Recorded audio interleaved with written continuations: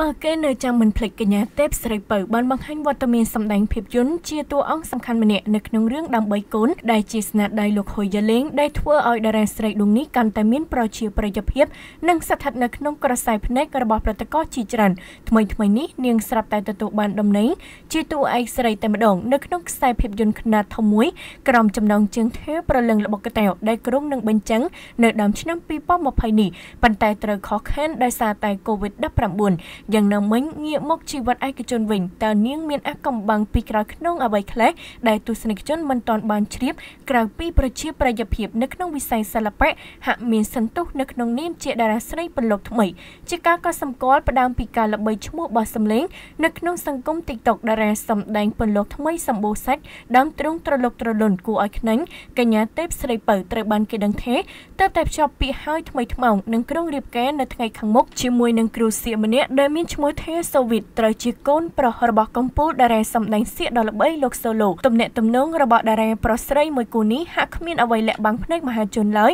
ផ្ទុយទៅវិញអ្នកទាំងពីរតែងតែបង្ហាញជាសាធារណៈនៅចំណងស្នេហារបស់ពួកគេយ៉ាងណាមិញសម្រាប់អាកំបាំងផ្សេងពីនេះពាក់ព័ន្ធទៅនឹងរឿងឯកជនព្រមទាំងការងារសិល្បៈយ៉ាងណានោះកញ្ញាទេពស្រីពៅនឹងចូលមកបង្ហាញទស្សនិកជនឲ្យបានជ្រាបកាន់តែច្បាស់តាមរយៈការចូលរួមជាតារាកិត្តិយសនៅក្នុងកម្មវិធីអាកំបាំងក្រៅឆាករបស់តារានៅថ្ងៃសៅរ៍ចុងសប្តាហ៍នេះ